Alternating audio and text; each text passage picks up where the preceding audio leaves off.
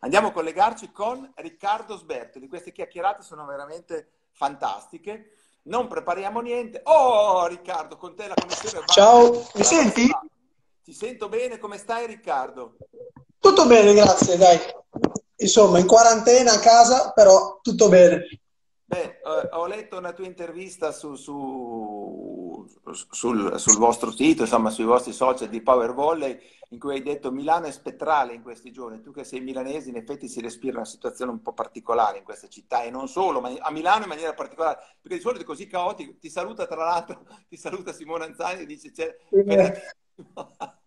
eh, vabbè, dai. Taglio da quarantena lo definisco. Milano un po' strana, eh, dicevamo? Sì, è una situazione surreale, come, come, ho già detto, perché sai, abituati in una metropoli così ogni volta che esci, ma anche solo il fatto di stare in casa. Io abito a Milano, in città, diciamo, non in periferia, e quando vai a letto la sera senti i rumori, il bar di, di fianco, le macchine che passano. Comunque è una città in cui c'è sempre un po' di, di rumore, di confusione, anche se esci a metà mattina per andare al supermercato vedi un sacco di gente in giro Adesso ultimamente un po' meno, diciamo, però per un mese e mezzo è stata veramente pesante. Si riusciva per andare al supermercato, non vedevi un'anima in giro, non passava una macchina, era stato veramente un po' particolare. Guarda Fanulli che ti saluta, io ti faccio vedere una fotografia che ti ritrae in mezzo al giardino verticale, perciò queste voglio dire è il presente del, della pallavolo il futuro con il presente e il futuro eh, dell'architettura eh, italiana, milanese e, e, anche internazionale, perché Milano è una città internazionale. La domanda è cosa rappresenta per te Milano cosa, e cosa rappresenta per te la pallavolo a Milano? Intanto io cambio la maglia e metto una vecchia maglia eh, della Reviver perché la tua non ce l'ho, eh, voglio dire, perciò eh, è subliminale. Arriverà, arriverà. Bravo, non è subliminale, intanto io cambio la maglia e tu parla. Ma allora, Milano per me, diciamo che per, per tanti giocatori la maglia della propria squadra potrebbe significare un passaggio una, della, della, propria carriera. Per me, per ora, visto che è l'unica maglia di, che ho indossato e visto che è la maglia della, della, mia città, sicuramente ha un peso diverso, sia dal punto di vista dell'orgoglio che delle responsabilità. Perché io adoro Milano come città, probabilmente sono molto di parte perché ci sono nato e ci sono sempre cresciuto, però penso che sia una delle migliori città in cui vivere in Italia, ma forse anche non solo in Italia. Quindi diciamo che sono molto attaccato a, alla città. Il fatto di poter vestire la maglia del, de, di una squadra del massimo campionato dello sport che pratichi nella propria città dà quel, quel, tocco in più, diciamo, ogni volta che scendi in campo è una sensazione particolare, difficile da spiegare, ma bellissima. No, messo, hai visto che sono passato dal pallone bianco anche a quello, a quello di oggi, insomma, perché abbiamo fatto un salto no? da, Valerio, da, Valerio, a te. Queste immagini qua, insomma, io ho un po' di immagini, sai, dopo mi fai vedere cosa hai preparato. E ti riprende eh, in fase difensiva con, con uh, Abdelaziz eh, contrasto a muro, questo è un derby con, con Monza. La domanda che, che, ti riguarda, perché tanto eh, sono già arrivate e ti arriveranno, rimani tu a Milano, rimane eh, Abdelaziz a Milano, puoi rispondere quello che vuoi, perché queste sono chiacchierate ruota libera, ognuno può parlare. Io, io rimarrò, penso proprio che rimarrò a Milano, adesso nel, penso sia nel, sicuramente nel progetto della, della società e sicuramente nei miei progetti, perché Adesso ci sai che il mercato si è un po' bloccato, tutto così, però io sono contento di, di rimanere a Milano, di, di, continuare questo mio percorso in questa squadra in que, e questo progetto, che penso anche che comunque abbia creduto tanto in me anni fa e in cui io con, continuo a credere molto, visto che comunque anno per anno si stanno vedendo dei, degli ottimi miglioramenti e quindi non, per ora penso sia ancora la, la cosa migliore per me.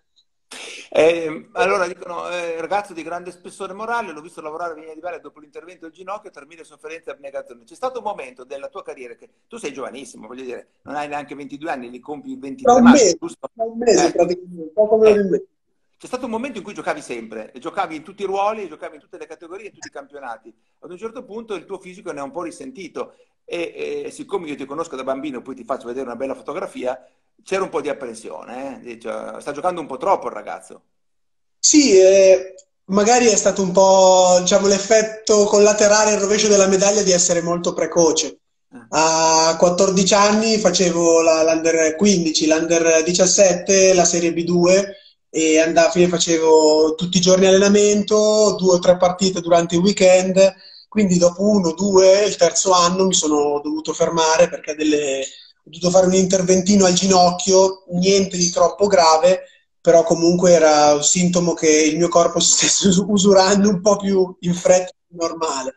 Quindi sì, lì è stato un periodo un po' particolare anche per me perché era prima dell'europeo per Ignores con la nazionale giovanile e diciamo che era la prima manifestazione importante con la, con la nazionale giovanile, quindi arrivare, cioè dopo tutti i sacrifici, arrivare lì, doversi fermare, non poter fare un europeo, insomma è stato pesante, però devo dire che dopo quell'operazione che ho fatto tramite la federazione, che non finirò mai di ringraziare perché mi ha messo nelle condizioni di operarmi a Villa Stewart, e è andato tutto bene, sono riuscito a riprendere bene, anzi meglio di prima, quindi per fortuna è andato tutto bene. Bene, ascoltami, hai degli oggetti? Hai preparato qualcosa, Ricky? Sì, Valerio aveva, ho visto che aveva degli oggetti molto, io essendo molto più giovane ho cose molto più semplici. Eh, oggi hai visto Vermigli un po' diverso oggi, eh, da quello che ti immaginavi che ti avevo raccontato? Eh? eh sì, lo vedevo giocare da piccolo quando ero, quando ero, come si dice, un bambino che, a proposito, quella finale lì, no, quella finale, la finale di Atene di cui parlavate, è stata una delle mie prime partite di pallavolo che ho visto in tele. Ah, bella. I miei genitori, e guardando la partita, siccome quell'anno avevo iniziato a giocare, ho detto a mio padre, papà, ma io secondo te riuscirò mai ad arrivare a, a giocare a questi livelli? Lui, lui, ovviamente non ci pensava, mentendo, ha detto, sì, se ti impegni puoi riuscire a fare tutto. Salutami papà, ottimo pallavolista. è vero, è vero. Allora, primo oggetto ho preso questa, che è la mia prima medaglia della finale nazionale under 15, finale nazionale scudetto under 15, che diciamo è stato il mio primo traguardo importante, anche se poi magari ne ho raggiunti di più importanti, eh, dal punto di vista pallavolistico. E me la ricordo ancora perfettamente, magari non mi ricordo partite di Superlega di quest'anno, ma questa me la, me la ricordo ancora perfettamente. Allora, eh, io ho visto, eh, come ho ricordato prima, mio figlio ha giocato eh, ovviamente a pallavolo e giocava a Merate. Era in palestra da una settimana, perciò vi lascio immaginare cosa poteva fare, ma era un, era un pulcino, aveva 10 mm, anni, 9-10 anni, e dopo una settimana organizzano una amichevole, subito, pronti via. E gioca contro di voi.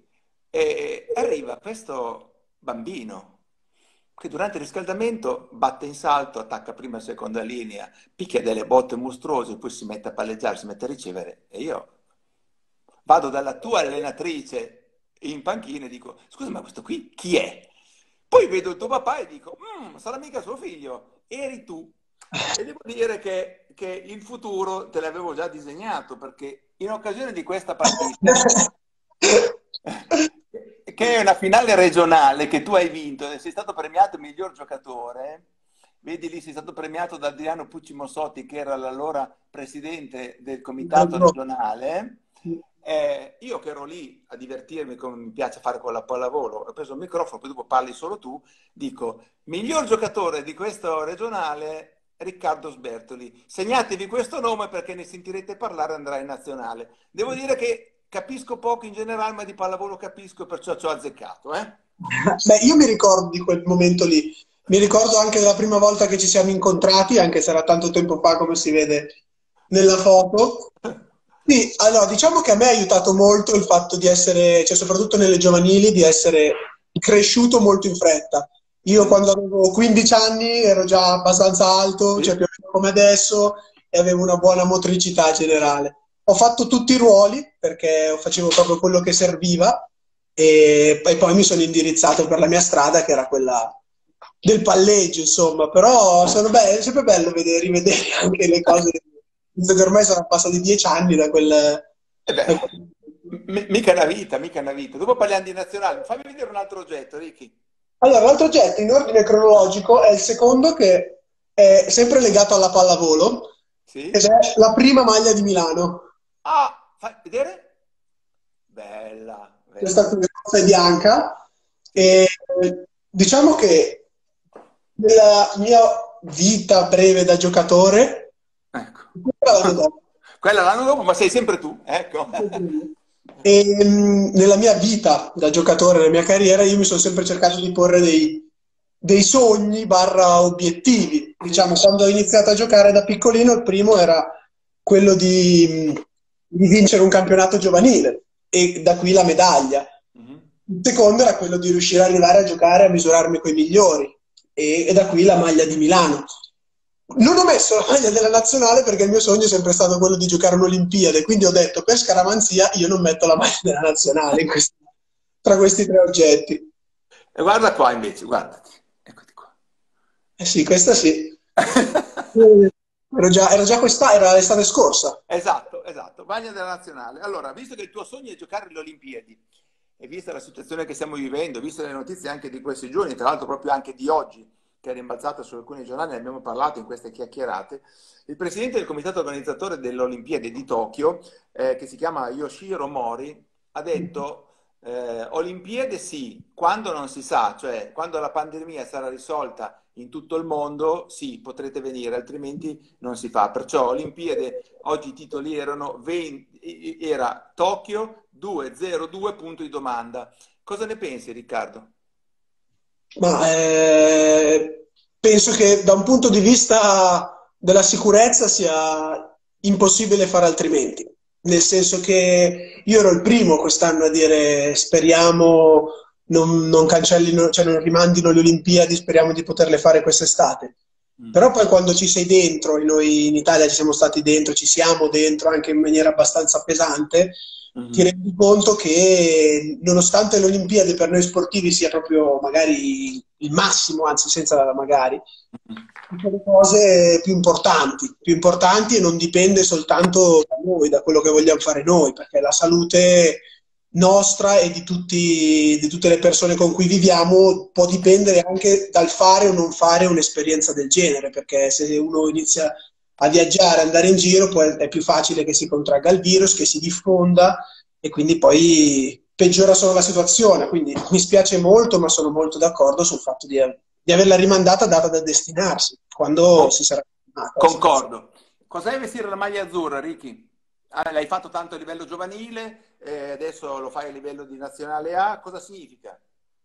È una, una grossa soddisfazione perché ogni volta che non solo che, che, scendi in campo con quella maglia, ma quando sei in albergo che prepari la borsa per andare a fare una partita e la metti nello zaino, nella, nella borsa, dici, caspita, ho una grossa responsabilità da un punto di vista, però è una grande soddisfazione, una maglia che proprio fisicamente pesa, pesa di più delle, delle altre, perché sai che c'è tutta, c'è tutta, l'Italia, che è il tuo paese dove sei nato, a guardarti, a sostenerti e tu rappresenti tutti loro, quindi è tanta roba.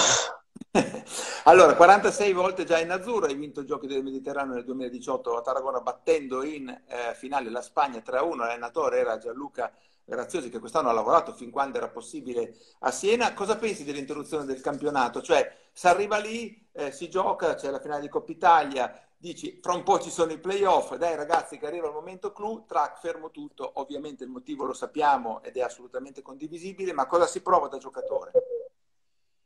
È difficile perché poi per chiunque, poi ci sono situazioni differenti, almeno io ti parlo per la mia, noi una, noi Milano eravamo in una situazione ottimale, forse la, la migliore sensazione dal punto di vista de, della fiducia eh, che io abbia mai avuto con una squadra in un campionato. Eh, stava andando tutto bene, eravamo messi bene, avevamo avuto un sacco di difficoltà, avevamo dato prova di uscirne di squadra e la cosa più brutta è che c'era proprio piacere a stare insieme e, e veder fermare tutto così da un giorno con l'altro è stata è stata dura. È vero anche che da noi si è fermato, dal, dal momento in cui si è fermato tutto al momento in cui proprio è esplosa la pandemia, cioè da noi non c'erano proprio le condizioni, quindi uno gli rode perché gli rode, cioè non poter andare avanti e tutto, però da un punto di vista non, è, cioè, non ci puoi fare niente, c'è cioè qualcosa che è più grande di te e che ti viene imposto da, da un bisogno superiore, che è quello di preservare la, la salute. Quindi assolutamente d'accordissimo con quello che è stato fatto. E io uno, sono stato uno dei primi anche a, a, dire in squadra, ragazzi, cioè, anche se eravamo tutti d'accordo noi, eh, però a dire qui va fermato tutto, cioè, perché ne va della sicurezza non solo nostra ma anche di altre persone. Stavo cercando, eh, ma adesso la chiacchierata va, va eh, così all'insegna, non dico della casualità, ma insomma zigzaghiamo anche in base a quello che voi ci dite.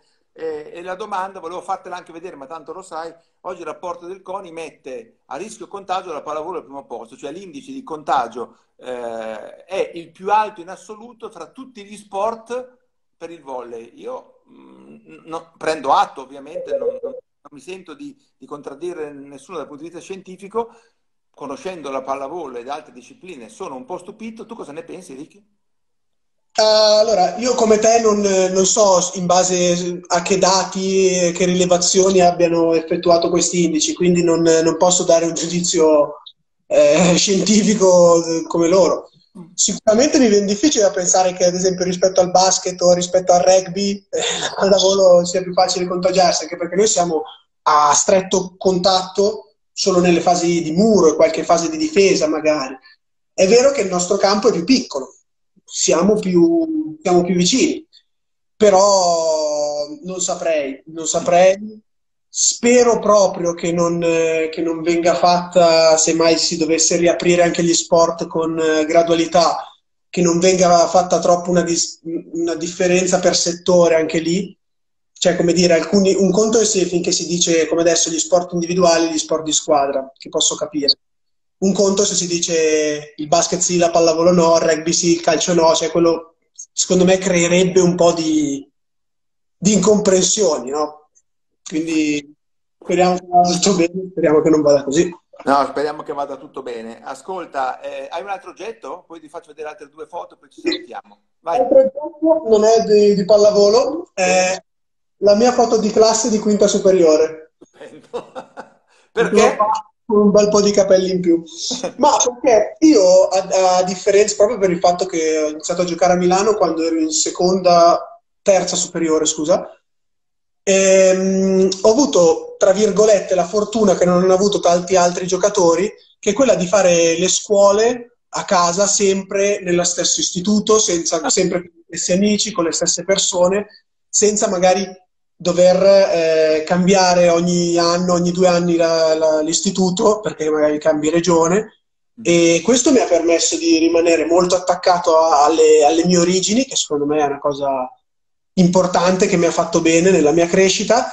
E poi perché ho condiviso questo, il percorso scolastico con delle persone che sono diventate veramente strette adesso, che continuo tuttora a vedere, che mi hanno permesso un po' nel, di fare un, un un qualcosa di alternativo per quanto possibile alla mia carriera da giocatore, perché anche quando ho 17 anni comunque sei un giocatore di Serie A e ti comporti da giocatore da Serie A. Tutti i miei compagni mi hanno permesso di, diciamo, vivere anche le esperienze di un diciassettenne, non solo di un diciassettenne che giocava in Serie A. E questo per me è stato importante. Eh, sicuramente sì, ma a questo proposito poi rispondiamo alla domanda che ti hanno appena fatto. Proprio perché sei un pallavolista, ma ti lasciano fare queste robe? Non più. no, quella è una cosa vecchia, era stato forse il È una mia passione, guarda, ieri ho parlato con degli ragazzini e mi hanno detto che quali sono le tue passioni e ho detto eh, purtroppo andare in moto, le moto, mi piacciono tantissimo e no, diciamo che no, adesso non, non pratico più ecco, sei sempre tu. Le ho prese da un tuo profilo su pallavolo super volley. Hai detto, ma cosa ti devo chiedere? Perché lo fanno andare in moto? No, la risposta è no. No, no, no, no. Adesso anche per, personalmente cioè, sono consapevole che fare cioè, è una cosa troppo rischiosa. È una cosa troppo rischiosa. Ti hanno chiesto cosa pensi del ridimensionamento proposto dalla... dalla... Vedo che ti già. Sono sicuro che qualcuno avrebbe chiesto. Eh, eh, te l'hanno chiesto e ovviamente eh, cioè, questa è una chiacchierata che facciamo a tutto tondo in assoluta libertà, l'abbiamo avuto conferma anche prima con, con, con Valerio. Eh, cosa ne pensi? Meno 20% pare per il momento, almeno questa è, è, è, la proposta della Lega, non so se è una proposta, un obbligo, non, non lo so. Dimmi tu. Ma in realtà io da, da, quello che è uscito sul primo comunicato che hanno fatto loro era meno 30%. Mm. Era meno 30% che vuol dire meno tre compensi dei quattro che mancavano quando è finita, cioè, si è interrotta la stagione. Ma io parlo molto sinceramente anche perché siamo tutti d'accordo tra noi giocatori con, gli, con i procuratori e noi abbiamo diciamo, proposto tramite due rappresentanti dei giocatori e tramite i nostri procuratori. Chi sono? Delle... Non lo so, chi sono i rappresentanti dei giocatori? Si può sapere? Dragan e Sicci. Okay. Dragan e Sottile. Okay. E, e, tramite procuratori noi abbiamo proposto le, le nostre idee, no? Ovviamente cercando anche noi di andare incontro consapevoli che la situazione che si è venuta a creare non è né colpa nostra né colpa delle società. Quindi, secondo noi, una divisione equa no? eh, di, di, di, ciò che mancava, degli stipendi che, che mancavano, era la, l'ipotesi più sensata. Non siamo stati ascoltati molto, a quanto pare, e diciamo che adesso la Lega Pallavolo ha fatto uscire quel comunicato, siamo rimasti un po' sbalorditi perché sembrava proprio voler eh, imporre o comunque dare delle linee guida che le società avrebbero attuato molto più semplicemente. Noi adesso ci siamo un po' riuniti, abbiamo fatto cerchio anche perché è una cosa che noi riteniamo importante tra di noi giocatori, visto che non esiste una vera e propria associazione dei giocatori e non ci sentivamo così tutelati, abbiamo deciso di provare a metterci tutti insieme, condividendo i nostri pensieri e trovando diciamo, un pensiero unico abbastanza in linea con i pensieri di tutti, questo l'abbiamo fatto tramite i capitani, e, mm, per farci sentire un po', perché non riteniamo che mm, diciamo, eh, questa proposta avanzata adesso dalla, dalla Lega sia conforme col nostro pensiero e non ci sentiamo molto tutelati neanche da, da un organo che dovrebbe essere al di sopra delle parti un po'. Ora vi terremo ovviamente aggiornati, vedete, noi mh, diamo voce ai protagonisti perché è una cosa corretta, noi chiacchieriamo eh, in assoluta libertà con tutti i grandi del voli, tra l'altro domani vi ricordo, eh, sentiremo un allenatore eh, che va tra l'altro via dall'Italia e va in Polonia, a Resovia, che è Alberto Giuliani. Poi sentiremo uno che come te è una grande speranza del nostro volley, vale a dire Daniele Lavia. Ti faccio vedere un'ultima immagine, eh, eh, e questo è Esberto, un, po', un po' modello, perciò voglio dire, cosa è per te la pallavolo, cosa ti offre anche al di fuori del campo, cioè, se, se, ti senti protagonista, personaggio, chi, cioè, chi, chi sei? Ma allora, in realtà io non mi sento molto personaggio, nel senso che, boh, sarà che non ho mai pensato, cioè sono una persona abbastanza modesta, quindi non, anche quelle cose lì l'ho fatto una volta, e sta, cioè hai trovato l'unica volta in cui mi ho fatto una di shoot fotografico, no? Però no, certo che quando vai alle partite così con, person- con le persone del, del nostro mondo ti senti un po' personaggio, un pochino.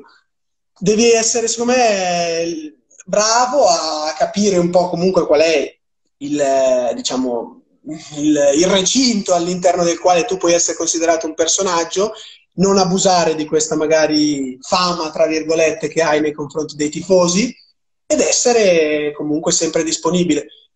Questo però non deve far sì che ti, che ti si abbassi l'autostima, cioè va bene essere modesti, però comunque consapevoli di, dei propri mezzi, dico. Eh, no, bisogna, non... bisogna. Bisogna, Ricky. Allora, eh, quello scatto porta la firma di Fiorenzo Galbiati, vuol dire che è il click della pallavolo. Quando io, da quando io ho i capelli neri tu devi ancora eh, nascere e tuo papà stava iniziando a giocare e io smettevo. Perciò pensa quando indietro andiamo. Abbiamo un minuto e mezzo per salutare. Eh, ti dico una parola e mi dici in 30 secondi cosa ti evoca in te. Segrate. Eh, infanzia. Infanzia, Segrate stato, sono stati degli anni bellissimi perché è stato l'inizio di tutto, è stato un po' il, il mio brodo primordiale, diciamo. Cioè io ho iniziato lì proprio in cui ero un ragazzino, non sapevo neanche bene cosa mi, cosa mi aspettasse là fuori e dalla pallavolo in generale e loro mi hanno veramente aiutato sia come giocatore che come persona perché è un posto dove si fa pallavolo in maniera sana, bene, ti insegnano tutti i valori non solo dello sport. Prima di salutarti ti faccio rispondere a Roberto, ci sarà campionato? Sì, come, quando e dove lo vedremo, si giocherà a porte chiuse, probabilmente sì, almeno fino a Natale. Questi parrebbero essere i presupposti di, di, di oggi. Cosa vedi nel tuo futuro, Ricky? Con questo ci salutiamo. Ma io non lo so, non lo so cosa vedo, spero di poter vedere serenità, e sia dal punto di vista sportivo che non, e spero veramente di, di poter riprendere e tornare a divertirmi come facevo fino a qualche mese fa, perché per ora questo è il mio unico pensiero, tornare a giocare, tornare a divertirmi, a provare quelle emozioni che per noi sportivi sono, sono come una droga. Allora, te lo meriti, ve lo meritate, parlo del, voi della vostra generazione, ho, dei, ho, due figli che sono più o meno lì con te, un po' più, un po' meno, perciò mi rendo conto di quello che state vivendo, questa situazione veramente irreale, perciò spero veramente che si risolva tutto velocemente. Sei molto più maturo di quello che, che eh, comporterebbe il tuo aspetto anagrafico e ne abbiamo avuto conferma. Ricky, io ti ringrazio, sei stato molto simpatico, disponibile. Eh, ci vediamo presto in campo, speriamo. Spero di vederti. la maglietta. Ecco, mi raccomando, bravo, bravo. così la prossima intervista la facciamo con la tua maglietta dietro. Grazie a Riccardo Sbertoli, grazie Valerio Vermiglio, le interviste su dallarivoli.com così potete rivederle. Poi eh, domani alle 14 con Alberto Giuliani e con Daniele Lavia. Grazie Ricchi, ciao, buona, buona, buona vita a tutti.